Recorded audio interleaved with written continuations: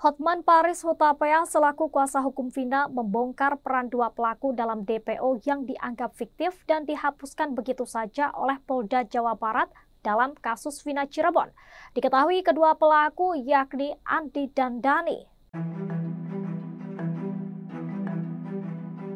Disebutkan Hotman dalam jumpa pers di Mall Kelapa Gading, Jakarta Utara, Selasa 11 Juni.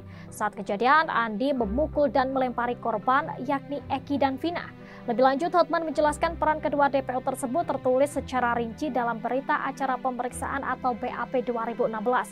Di sana dijelaskan bahwa DPO Andi merupakan orang yang kali pertama mengangkat tubuh Vina dan membuka bajunya, sedangkan Dani yang membuka celana memperkosa untuk pertama kali. Setelah itu, tujuh pelaku lainnya termasuk Peggy alias Perong ikut menyetubuhi Vina secara bergantian.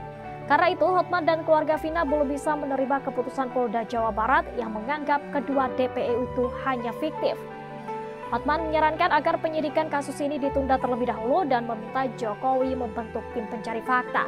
Hotman menyarankan agar tim pencari fakta berasal dari berbagai kalangan universitas agar lebih netral dalam menyelidiki dan menyampaikan fakta sesungguhnya.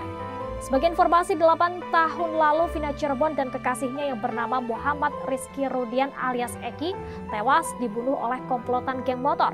Awalnya Vina dan Eki diduga tewas akibat kecelakaan tunggal, namun setelah diselidiki lebih lanjut ternyata keduanya terbukti dibunuh.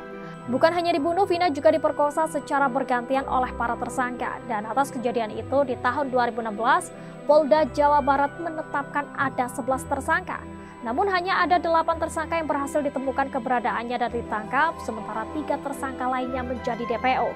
Delapan tahun berjalan, polisi belum bisa menemukan ketiga DPO tersebut sampai akhirnya kasus Vina kembali viral usai dibuat film.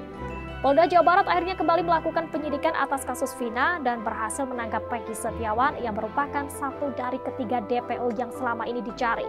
Sementara itu, dua DPO lainnya dianggap tidak ada atau hanya fiktif. Jangan lupa follow, like, dan subscribe sosial media Tribun Jateng. Download Tribun X sekarang, menghadirkan lokal menjadi Indonesia.